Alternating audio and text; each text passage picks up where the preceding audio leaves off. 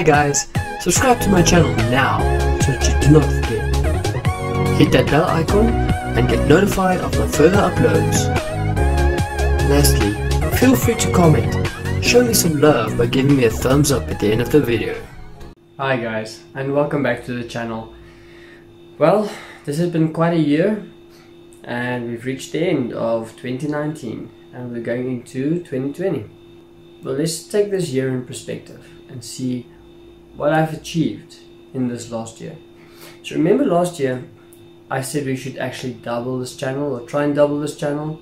Well, I must say we've succeeded in doing that. So at least I'm feeling very proud and I want to thank you guys for helping me achieve this. What was the highlights of this last year?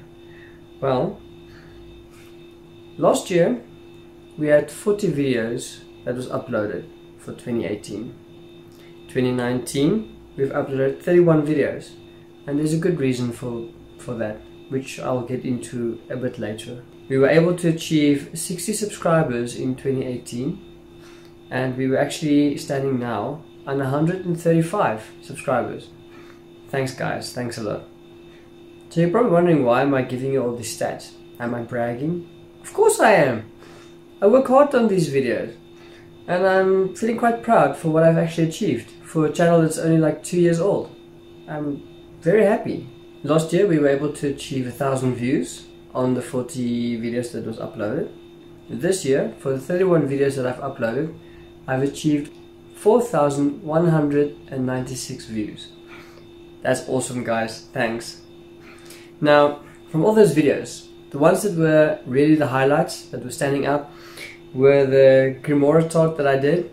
I got 1,385 views on that one, and more than 13 likes, so at least I did something right. So, um, hey, keep on making that Grimoire tab. It is really, really good, and it really tastes awesome, and I think I want to make one now for this uh, festive season when Christmas comes. Slacker, I have to make it. The second video that I see that did very well was my overhauling, my uh, how-to videos, playing mechanic. The overhauling of my Corsa utility bakkie, that actually got a combined view of like a thousand views on my two videos that was out. So uh, that tells me that people actually like to see the mechanical side of things, how I actually fix things, and also the baking, which I don't do a lot of because it's expensive to buy the ingredients for baking.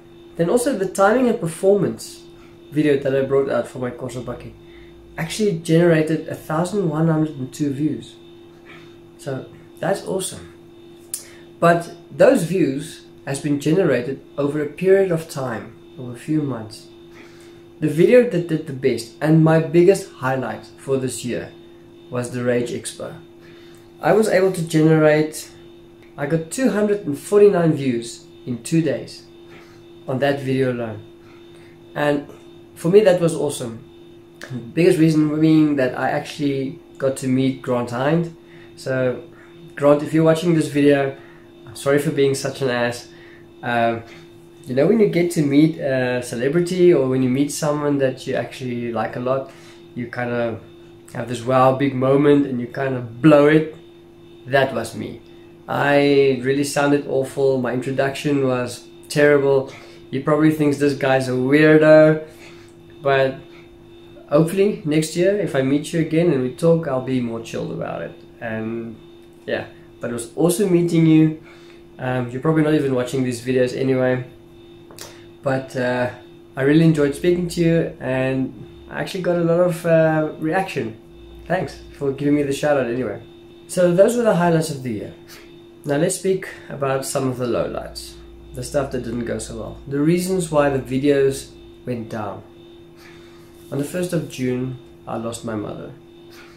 So since then, I just haven't been quite focused and right, you know, my head wasn't quite in the right place so trying to sort out all her stuff, sorting out the house and all that stuff. You know, it's a big story if someone passes away. It took most of my time, and I'm still not quite finished with everything yet. Uh, add, added on top of that, it was work-related stuff. We had uh, extra courses that we had to do, which means extra overtime, trying to cover the, the, the shifts that I was working. So in the little time that I was off in the last three months, I had to catch up on everything that was left in the house. Be it cleaning, dog gardening, whatever. Everything fell behind. So I had to fix all that and I had to catch up on all that. So at this point in time, we're done with everything. Um, so hopefully I can focus more on what I really want to do. And that's make content for you guys. You know, keep you guys interested. That's what I really want to do. So what's new for the next year? Well, so far as you can see behind me, we've got the new logo for CriPt ZoNe, uh, which I created somewhere in Windows 10 3D Paint. So hope you guys like my new logo. And also I made a new intro, which I've um, already started using in the last two videos. So this will be our new look and our new logo for the coming year. I hope you guys like it. I have three big projects so far in line that I really want to share with you guys. So please remember to subscribe, hit that bell icon so you don't miss out. The projects will include um, overhauling a grandfather clock. I've got a grandfather clock that I really want to get up and starting again. So there's going to be a mission. Um, also, I have a project uh, building something very big that I want to build. And I was thinking of getting a new tat.